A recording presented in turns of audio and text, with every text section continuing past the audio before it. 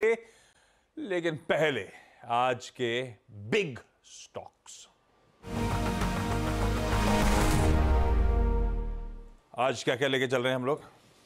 आज दो cash market के स्टॉक्स हैं आशीष। सबसे पहले सोला विनयार्ड्स इसको मैं ग्रीन लेके चल रहा हूँ। उसका कारण बहुत सिंपल है। ये जो ट्रेड हो रही है क्लीन आउट ट्रेड है।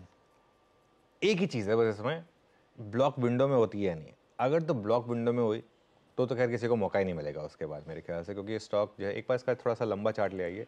मेरे ख्याल से तीन महीने का चार्ट ये स्टॉक जो है, अपने हायर लेवल से करेक्ट हो चुका है।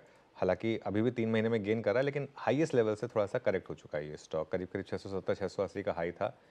एक बड़ा इन्वेस्टर है, वो पूरा स्टेक बेच रहा है। एक क्लीन आउट ट्रेड है, उसके बाद ओवरहैंग खत्म। ये इन्वेस्टर उसके बाद अब नहीं आएगा मार्केट में। इस चीज़ को समझिए। अच्छा एक चीज़ मैं बता दूँ आपको।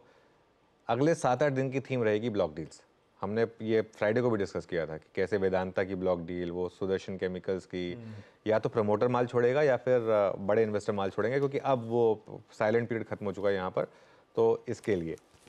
अच्छा बहुत लोग को लगता है कि क्या इसका मतलब मार्केट में टॉप बन गया? यही गलती पिछली बार भी की थी हमने। कि इतने सारे इंसाइडर्स बेच रहे हैं अब तो स्टॉक्स टॉप आउट हो गया वहाँ से 40 परसेंट स्टॉक्स भागे। तो इसके लिए मैं इस बार वो गलती नहीं करूँगा। लेकिन ये मुझे लग रहा है कि अगर ब्लॉक विंडो में हो गई तब तो बहुत बड़ा पॉजिटिव है। ब्लॉक विंडो में अगर नहीं हुई तो एक बार के लिए हो सकता है स्टॉक गिरे लेकिन उसके बाद देखते हैं। वैसे मैं ग्रीन लेकर चल रहा हूँ इसको ये मेरा व्यू है। दूसरा स्टॉक जो मैं ग्रीन लेकर चल रहा हूँ वो है पी बी फिनटेक और पी बी फिनटेक जितनी भी न्यू एज कंपनियाँ हैं उसमें मेरा सबसे पसंदीदा स्टॉक रहा है अलॉन्ग विद जोमेटो और उसका कारण ये है कि इस कंपनी ने प्रॉफिटेबिलिटी दिखानी शुरू की है, ठीक है? और अब सिटी की एक रिपोर्ट आई है 1150 का टारगेट है।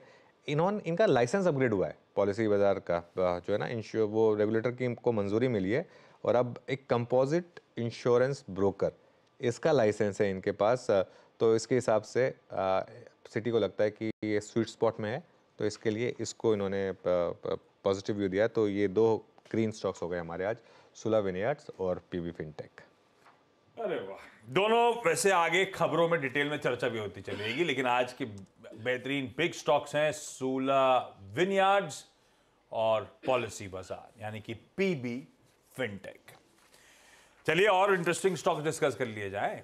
ये तो दो हैं आपकी स्क्रीन पे आज के बिग स्टॉक्स लेकिन आज के टॉप कॉल्स की शुरुआत करने के लिए पहले तो पैनल को दिखाइएगा। बैदी साहब, आज घर पे नहीं है क्या? Good morning, Ashish Good morning.